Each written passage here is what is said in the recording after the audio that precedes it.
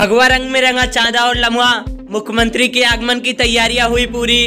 उत्तर प्रदेश के उप मुख्यमंत्री डॉक्टर दिनेश शर्मा के नेतृत्व में भारतीय जनता पार्टी की जन विश्वास यात्रा आज चांदा पहुंचेगी जिसको लेकर भाजपाइयों में खासा उत्साह देखने को मिल रहा है।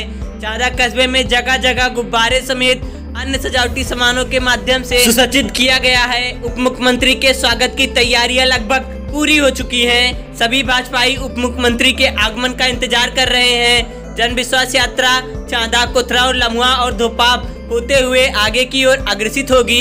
चांदा और लमुआ में उप मुख्यमंत्री संभवतः जनसभा को संबोधित करेंगे। इन सभी कार्यक्रमों की तैयारियाँ विधायक देवमर द्विवेदी की अगुवाई में लगभग पूरी कर ली गई है। इस दौरान चांदा चौराहे पर पूर्व ब्लॉक प्रमुख विनोद मिश्र मनोराज यादव समेत सैकड़ों की संख्या में कार्यकर्ता एवं पदाधिकारीगण मौजूद हैं।